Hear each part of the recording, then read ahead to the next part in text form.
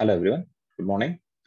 Welcome to Oracle Fusion HCM training by UnoGeeks. In this video, we'll see how to burst the BI report output uh, to an SFTP location. In the previous videos, we've seen how to uh, burst the output to UCM. UCM is basically a content a server that comes out of the box with ERP or HCM cloud instance. And we've also seen how to email the output out with the help of bursting. But the problem with uploading file to UCMS, uh, the downstream system should have the capability to invoke web services in case they need to pull the file from UCM and process it at their end. And not many downstream systems have the capability to, uh, to invoke web services. And that is where the, you might have to burst the BI report output to an SFTP location. In this video, we'll see how to do this and we will implement this bursting in a report that we have built in the previous few videos. Uh, in case you haven't watched them, please go back and, and watch the videos uh, about the BI reports. We have created an employee assignment report, which will take in person number as an input and prints and it prints employee personal and assignment details. And we want to implement bursting in this uh, report so that the output generated by this report will be placed in SFTP as soon as a user runs an ESS job. Okay, so the step is, uh, so there are three steps involved. First of all, you need to register the SFTP server in which you want to place the output. You have to register that SFTP server in the BI administration. Okay, that's step number one. And then you need to prepare a bursting query with that SFTP server that you have registered and add it uh, to the data model Okay, and once you prepare and add the bursting query to the data model, the third step is to run the ESS job and verify if the output is placed in SFTP or not. Okay, let's get started.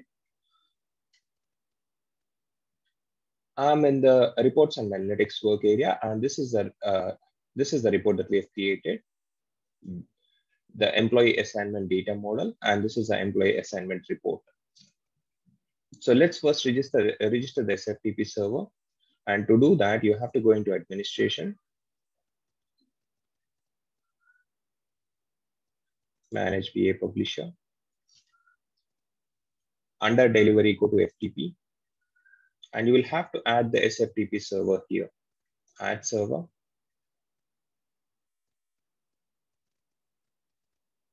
Give it a name.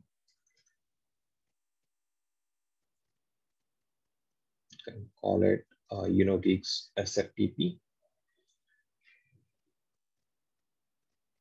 You have to mention the host and the port.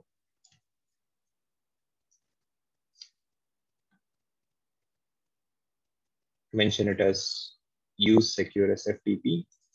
And you have to mention the username and password.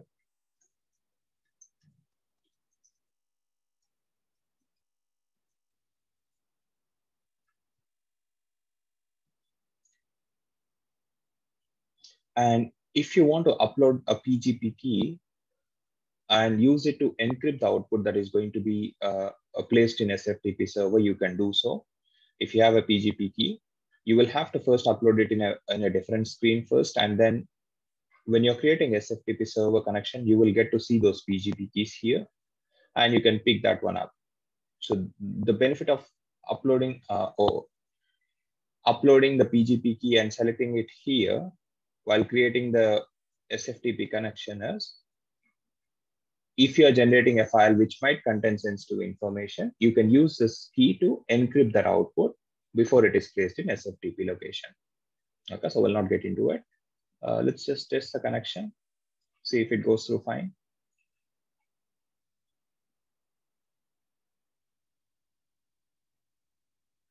The connection established successfully and let's click on apply. Okay, so we're done with step number one. We have registered the SFTP server as a, uh, or, or we have registered it in the BI admin tab. And now we need to go back to the data model.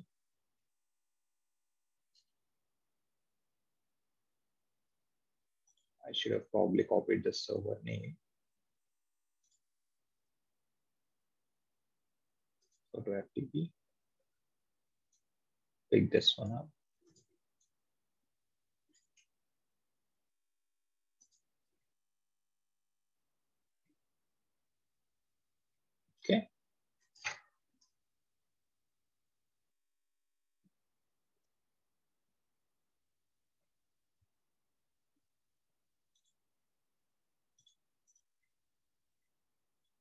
And let me just create one sample or dummy SQL file, and we will start preparing bursting query here. So uh, we have registered the SFTP server, and we have registered it with this name. I've copied it already. Okay, and we need to come up with a bursting query now. To come up with a bursting query, go, go back to the data model, edit it,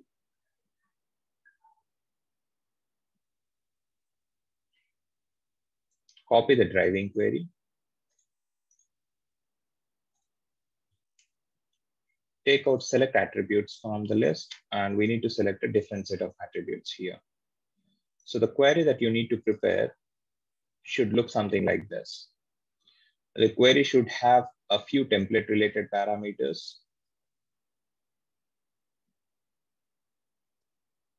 Let me pull this to a new instance. Okay, so you need to have uh, certain template level parameters. And I've mentioned person ID as a key, which is going to be a unique, uh, a unique ID. And the template name, locale of the template, and the output format. You can get this information from the report. So if you go back to the data model, click on get log, open the report or edit it rather. Click on viewer list. You will be able to copy the details from here.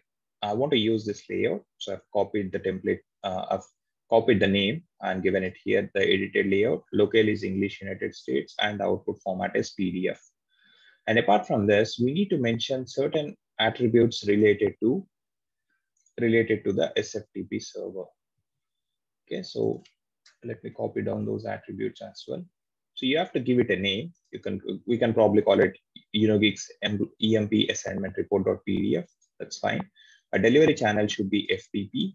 Even if it is an SFTP server, mention it as FTP. It's fine. And the parameter one should be the server name. And this is what uh, this should exactly match with the server name you have given in BI administration. Remember, we have registered the SFTP server before this step, right? And you would have given a name to that server. Copy that name and use it as a parameter one. Remember, it should exactly match with the server name. Otherwise, uh, a file would not be delivered to SFTP. And parameter four is a folder path. Where do you want the file to be deposited? Okay, so I have a BI folder in the SFTP server. So yeah, I will just place the report output in this particular folder.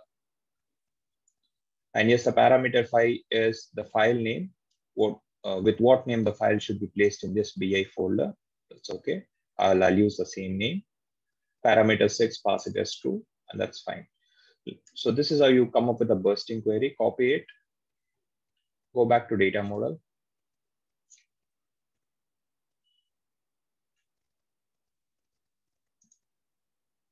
and add the bursting query in there.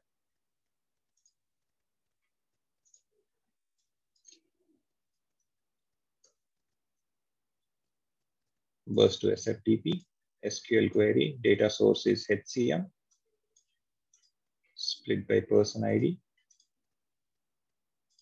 delivered by person ID. And since we have two tables here, which have got person ID column, if you paste this query as is, you will get a uh, get an error. So to resolve that, you have to mention alias name for a person ID. Okay, so uh, I've just mentioned that, yeah, uh, I've just prefixed the table name for all people here so that you don't get that uh, ambiguous column error.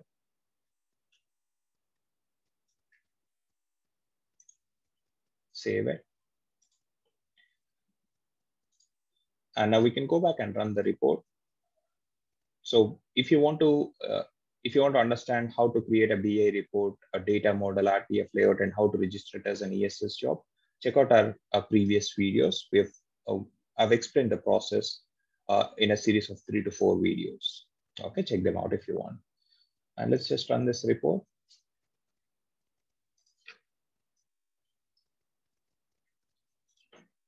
Run it for a 105, 101 employee.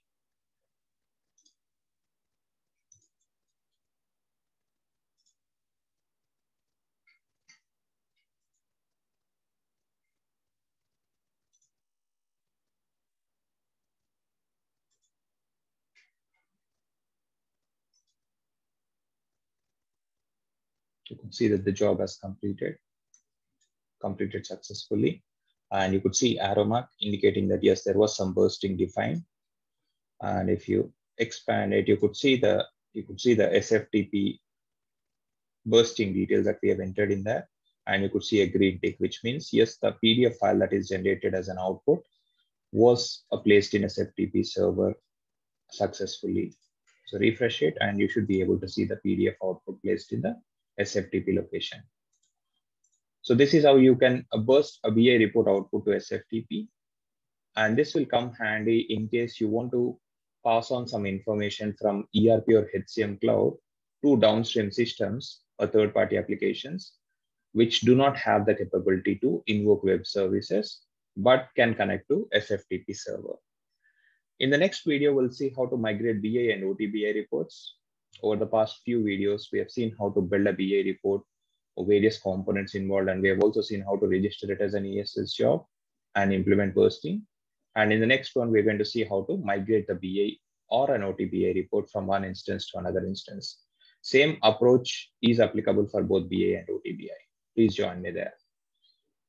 Thank you for watching this video. In case you are interested in Fusion HCM training offered by UnoGeeks, uh, please call us on this number or send a WhatsApp message or you can mail us on info at unogeeks.com. Thank you.